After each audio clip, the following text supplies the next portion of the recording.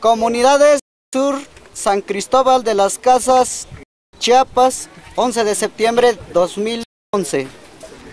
Sé licenciado Juan Pines Guerrero, gobernador del estado Chiapas.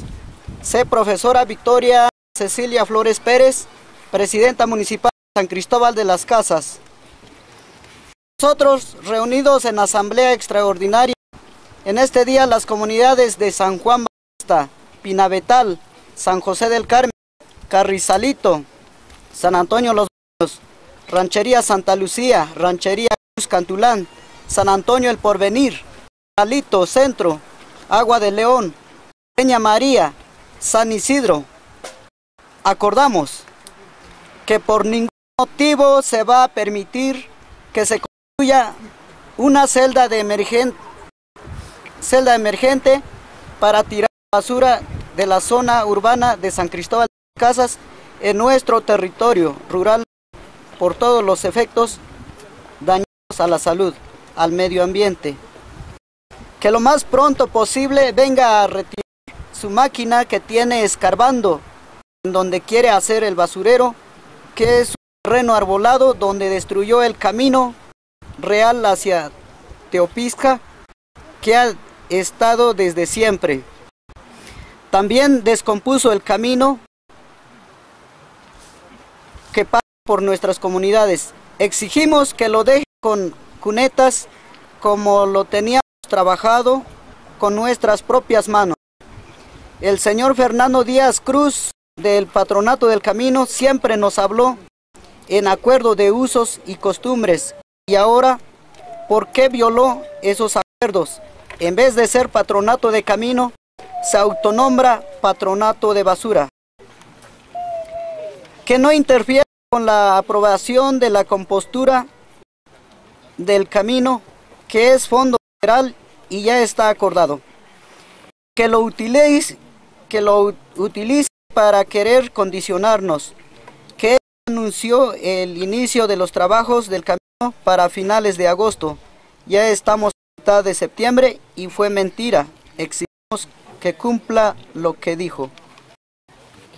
Que la presidenta municipal anuncie públicamente la cancelación total del proyecto de la celda emergente de la basura en nuestro territorio. Cuando nos vino a pedir el voto, nos ofreció el camino y proyectos de salud. Nunca nos dijo de la basura. Si no, no votamos por ella. Pedimos a su gente de llamada Casa Amarilla, de su partido PRD, que deje de estar dividiendo a las comunidades, queriéndolas convencer del proyecto de la basura y su agente Juan Paulino Hernández de Peña María, de Peña María 3, que está ofreciendo dinero para que no apoyemos la defensa de nuestro territorio en contra de la basura. Denunciamos que como grupo de choque se buscó a dos familias que se dicen ser Nuevo San Pedro La Tejería y son originarios del municipio de Huixtán, que pidieron recientemente ser ingresados en nuestras comunidades, pero con la intención de apoyar la idea de retirar la basura. Que convocamos a esta reunión a los que sí están de acuerdo con tirar la basura para que expusieran sus razones frente a todos para que mostraran sus actas de acuerdo y para informarlos del daño que va a traer la basura, pero no asistieron. Lo que comprueba que no tienen fuerza porque la razón y la mayoría los tenemos nosotros. Que, que, estamos en contra de la basura en nuestras comunidades. Así que este acuerdo es que va a ser válido porque está amparado por la decisión de la Asamblea de las Comunidades del Sur.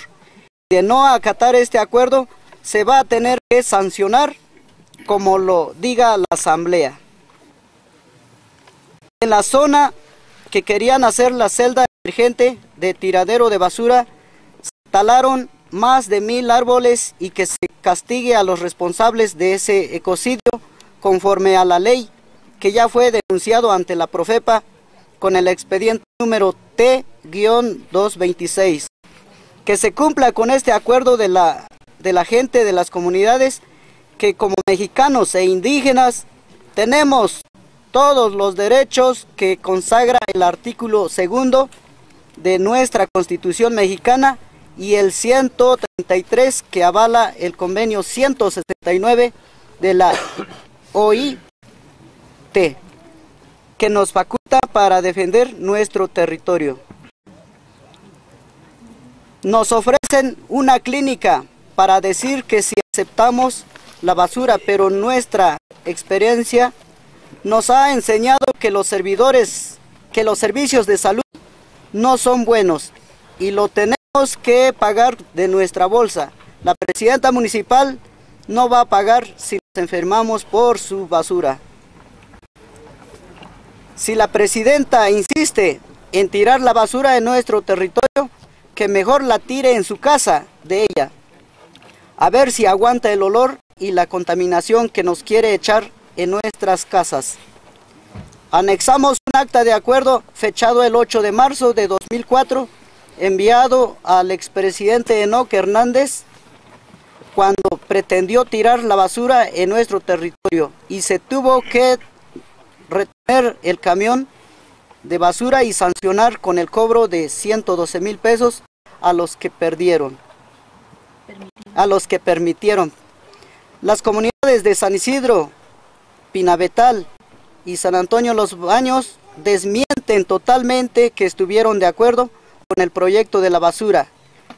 Que quede asentado, que quede asentado. Atentamente, San Juan Bautista, San José del Carmen, San Antonio Los Baños, Ranchería Cruz Cantulán, Corralito Centro, Peña María 2, Peña, Peña del Chulem, Pinavetal, Carrizalito, Ranchería Santa Lucía, San Antonio del Porvenir, Agua de León y San Isidro. Jaje Chiepal, Tijich Pasele.